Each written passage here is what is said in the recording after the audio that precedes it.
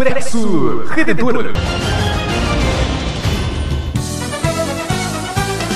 6 de agosto de 2016, a ordenação diaconal do seminarista Fernando Wolff é amanhã às 5 da tarde, aqui na Igreja Matriz Nossa Senhora dos Navegantes, em Sobradinho. É um dia histórico para esta paróquia. Nossa equipe já está aqui na cidade de Sobradinho, onde daqui a pouco teremos a última noite do trido preparatório da ordenação. Venha e se alegre com a gente. É mais um fruto do trabalho vocacional de nossa Diocese, Diocese de Cachoeira do Sul, 25 anos.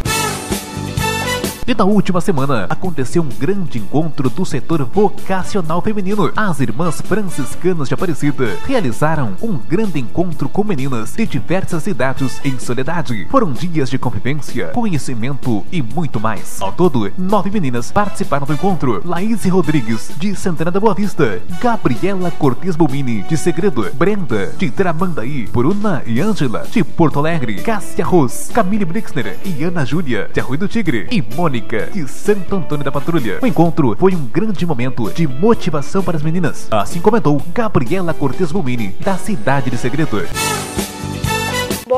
Além da experiência, eu pude conhecer mais sobre a congregação, fiquei sabendo a história e também muita gente das meninas pensa, eu vou entrar para a congregação para rezar. Não é só rezar. Tudo que você faz, você já está rezando, mas é muito mais. Você faz projetos e participa bastante da comunidade e eu fui para lá para descobrir qual vocação eu quero seguir, sabe? E acredito que as outras meninas também, assim como eu, gostaram muito do encontro. Bom, a gente fez trabalhos na cozinha, fez pão, pizza, comida.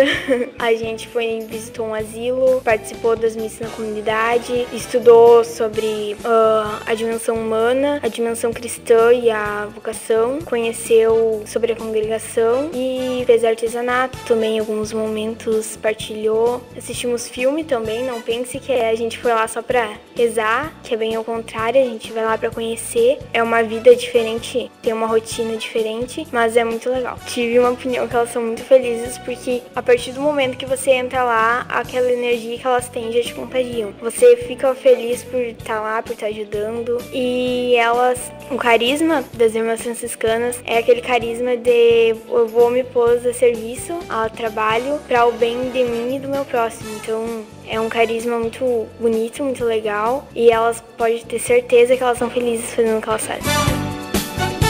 Da Diocese de Cachoeira do Sul para o Expresso Redentor, Robson Dias.